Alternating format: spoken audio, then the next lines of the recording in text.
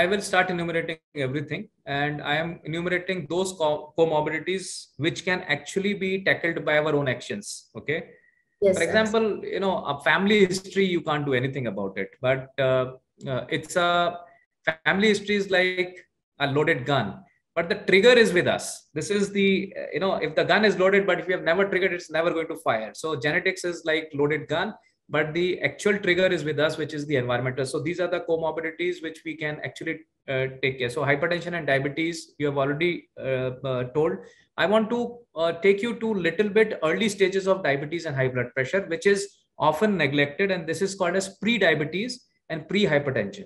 So pre-diabetes means your sugars are slightly more than normal but they are not in the diabetic range. So you're not called diabetic but pre-diabetic itself is a risk factor for so many macrovascular complication, including the blockages in the heart. So it has to be tackled, it has to be taken care of, and it cannot be neglected that it is just the beginning. Uh, people take it lightly because they think it is, I'm still not diabetic. So it's just the uh, thought that, you know, if it is this value, then I'm diabetic, I need to take action. If it is not this value. So pre-diabetes is also very important. Similarly, there is a concept of elevated BP where we are saying like for example, the BP less than 120 is considered as normal. Now with the 120 to 30 like me that means it is slightly more than normal. It is called as elevated bp although there is no recommendation to take medicines in this group but it should put you in on alert that you need to take action because now you are in an elevated bp group where uh, if you don't take action now you're definitely going to need medications in future. Then high cholesterol values. These are something which uh, can be tackled very well through diet, exercise, and some we need medications uh, often. Uh, uh then uh, we have obesity, which is uh, something which is also neglected. There is something called as hidden obesity in the Indian context also, because the Indian obese hidden obesity is thin obese person. So what is this thin obese person? A person whose weight looks normal, but he has a belly which is coming out, which is called as abdominal paunch, which is coming out. Now this is a visceral fat and this comorbidity is neglected quite often.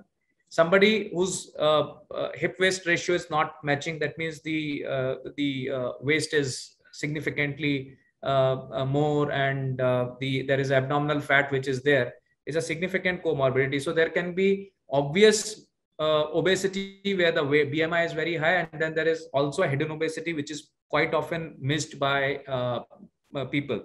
Then there is something which is also very often neglected, and I wish to tell you uh, that people should understand is something called as obstructive sleep apnea syndrome. Now, people who are sleeping in the night, but they are a loud snorer, or even they are not getting a good quality of sleep because of the snoring. So their body is under tremendous stress because they're not getting adequate oxygenation.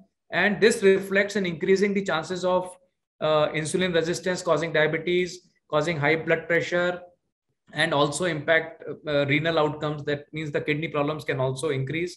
And uh, I can tell you a lot of times when there is nothing found, their BP is on the higher side. We don't know why it is happening. You ask them, you ask them the history of snoring, and they will say, "Yeah, we snore a lot." I snore a lot, and then uh, you ask that whether they feel sleepy during the day, lazy during the day, less energetic during the day, and they will respond yes. And this is one comorbidity which needs to be tackled. So obesity, hidden obesity, sleep apnea these are something which are not usually asked by sometimes or not observed and people think it is a benign. Sometimes they know that they are snoring but they think it is benign so it needs evaluation. Similarly renal dysfunction. There are a lot of cardiorenal syndrome. So heart and kidneys are strongly related. Those people who have kidney disease they have higher chances of developing uh, you know cardiovascular diseases like blockages and all those things. So even uh, people who the early CKD could be just leaking of protein in the uh, urine, which cannot, and the, the creatinine values will be normal. So those people who are hypertension and diabetic, they should also check uh, whether they are secreting albumin, microalbumin into their urine. And if it is high, that means they have already begun, started to develop kidney disease. And kidney disease, which is chronic kidney disease, can lead to, again, cardiovascular disease. So these are something which uh, uh, are things which needs to be uh, seen now we had a death of a celebrity, young 40 year celebrity. I don't know whether you are aware, Siddharth Shukla. Yeah, he had shocked. It was, yes. Yeah, it was a very shocking incident. That's such a healthy.